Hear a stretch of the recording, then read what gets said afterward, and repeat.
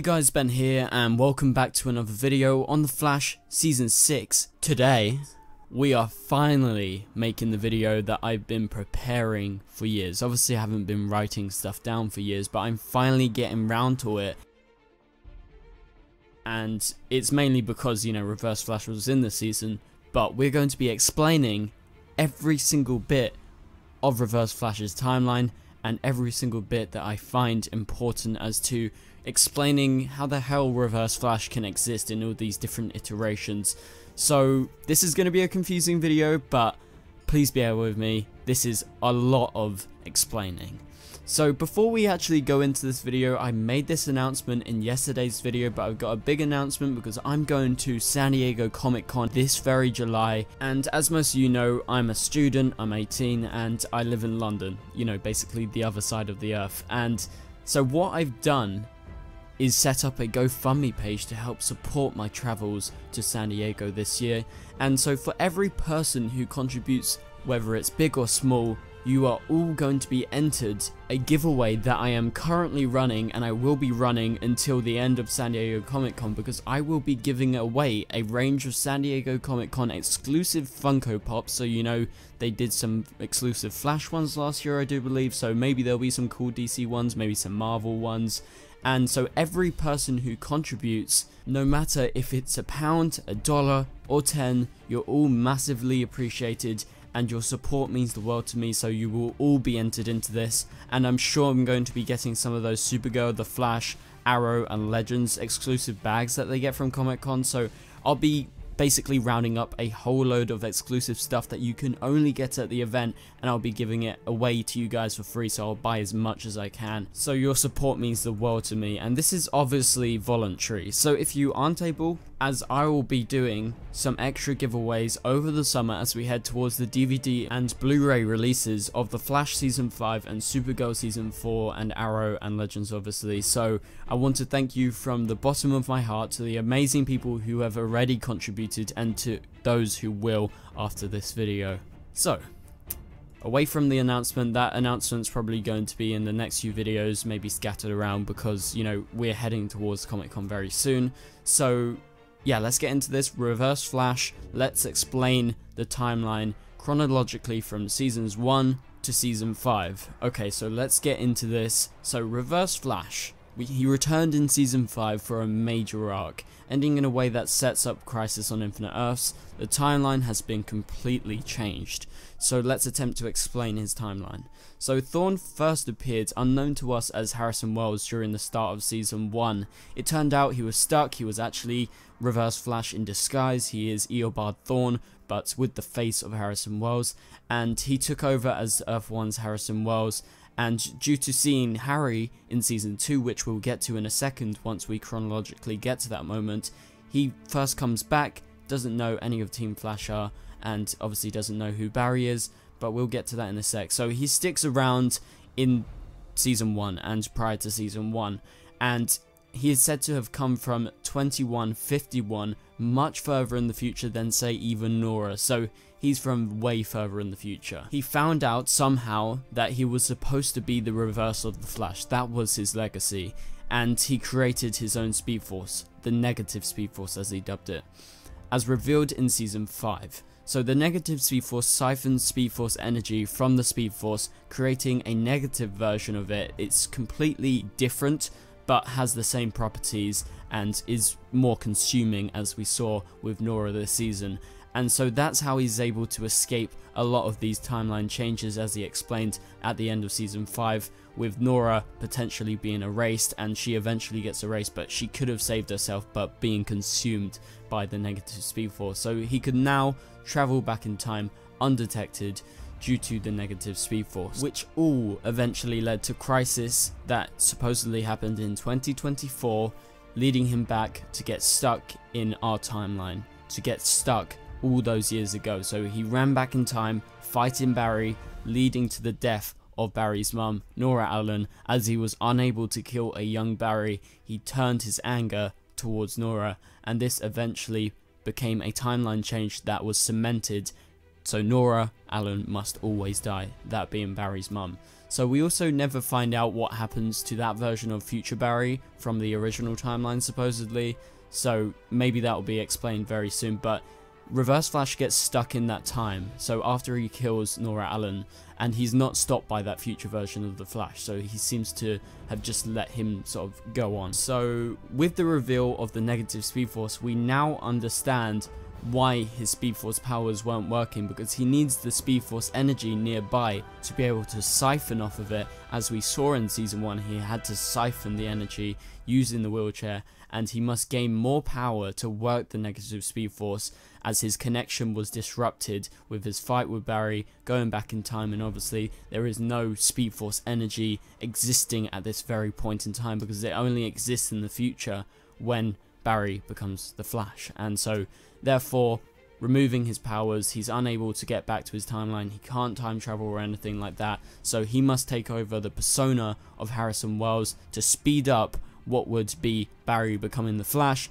and in this new version of the timeline, Barry becomes the Flash many years earlier. So Thawne is later revealed in season 1 to Team Flash as the Reverse Flash, and Eobard eventually gets erased due to Eddie killing himself in this version of the timeline, and he is removed from the timeline, you see him get erased. So the next time we see him after the end of season 1, he is on a mission to finally figure out the Flash's identity, which happens to be in the Reverse Flash Returns episode in season 2.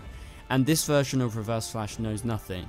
He doesn't know who any of Team Flash is, he doesn't know that Barry is the Flash, and so eventually they have to let him go, due to him sticking around causing major timeline changes, with Cisco actually being phased in and out of a bed, which was a pretty cool scene in the episode.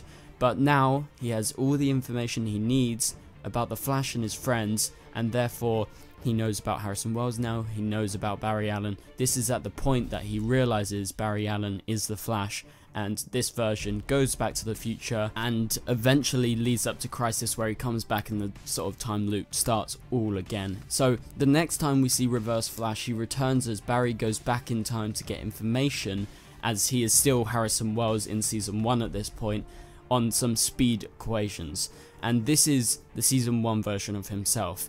He has got many secret visits over time, as we saw in Season 5 as well. There was another visit with Barry and Nora, we'll get to that very soon. So he never actually revealed any of these secret visits to anyone in the current Team Flash during Season 1. So this ends with, anything happens to me, you never make it back home. This is what Barry says, and that's his leverage to let him go. So then we go on, and this is at the point where Barry creates Flashpoint. So the version of Reverse Flash after Crisis, who is back in time, he's supposed to kill Nora, is actually unable to do that because Barry changes the timeline. And so Flashpoint takes full effect as Eobard is locked up, and this is at the end of season 2 leading into season 3 with the first few episodes being towards Flashpoint and so he is unaffected due to him not actually running around using his powers, but he is eventually set free as, as both him and Barry have to escape Flashpoint. And they eventually go back to the night after they defeated Zoom, and things aren't quite as usual. And so this version of Thawne runs away, he teases that something is not quite right, but it's similar to what it used to be. And obviously we see the changes with Iris and her relationship with Joe, and so Barry screwed everything up basically due to him creating Flashpoint. And so Reverse Flash, this version that has run away after Flashpoint, now ends up running away from the Black Flash, as seen in Legends Season 2. So he's the main villain, he forms the Legion of Doom with Malcolm Merlyn and Damien Darhk, and is eventually erased by Black Flash at the end of Legends Season 2. And so that version from the altered happenings of Nora's death is finally erased. It is back to normal with his destiny set to be stuck in the 2000s for 15 years, so that version is erased, he is not on the run anymore. So with Eddie killing himself, this version that we see in Legend Season 2 is on the run from Black Flash as he's not supposed to be alive, and due to this changes, Black flashes after him, so his destiny, this version, was supposed to be the same as what happened at the end of Season 1. He should have been erased at that point, but obviously this Thawne never made it to that point because of Flashpoint, so everything changes, and that's why Black Flash is trying to erase him to correct what was wrong with the timeline, so all goes back to usual, and he tries to change reality in Legend Season 2.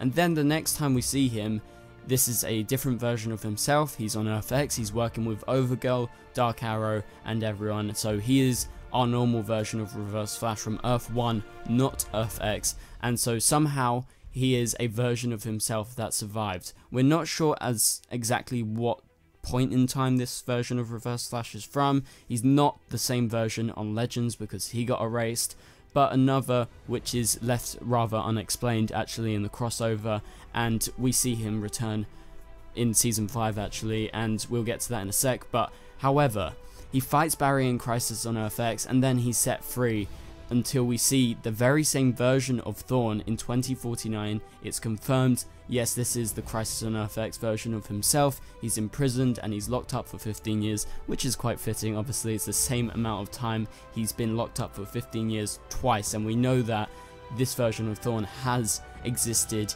in that specific timeline where he gets erased, but this version of Thawne is able to escape, so maybe he's a time remnant. So he has Cicada's dagger in his chest. This version is a version of Thawne that had already lived through that same experience of Barry and Nora's visit in the 100th episode, and so it's revealed in the finale that the information of Cicada, he knew he had to manipulate Nora, and so it is revealed that he is able to look at the different versions of history by recording a diary of entries using the Speed Force symbols as it will never get erased. That is how every version of Thawne is able to piece together all this information that maybe he himself, whether it's a time remnant, a different version from a different time point, he knows all this information if he's read his diary or wherever he inputs the information into Gideon, whatever version, these symbols will never change even if the timeline changes. That is what was cemented at the end of season 5. And so at the end of season 5, Nora and Barry changed the timeline and he escapes in 2019. So he organized a plan in which he would have leverage and Nora would actually be erased, allowing for his escape as he ends with the line, I'll see you in our next crisis. So with the reveals early in the season, he knows the timeline's malleable. He's actually manipulated Nora and changed the timeline to his own needs so that Nora would get erased, he would be able to escape, and essentially all this plan to do with Cicada was to get himself out. And so now he's on the run, and we will next see him in Crisis on Infinite Earths because the newspaper article has set that up since the very start, and it's always been Reverse Flash fighting the Flash, the Flash goes missing and vanishes in Crisis. So a version of that is going to happen in 2019's crossover. So hopefully you enjoyed this video and hopefully it made sense. I thought I was actually pretty clear with it to be honest because I had a whole list of stuff and I wrote this video before so it's pretty much you know very logical because I've looked back at all the separate scenes and put it all together and I tried to put it chronologically although it's a bit loopy at points because you know with different versions of Thawne it links into different points in time and most of them have all existed at the point where they had to stick in the past for 15 years after Nora Allen is killed and somehow most likely due to the negative speed force he's able to escape maybe create a time remnant at different points and so these are different versions of Thawne that we are seeing but you know they all have the same information due to the speed force symbol explanation earlier this season so let me know if you enjoyed this video. Let me know if this actually helped you out because I know I get this question all the freaking time. So I felt like eventually after like three years of doing YouTube, well nearly three years,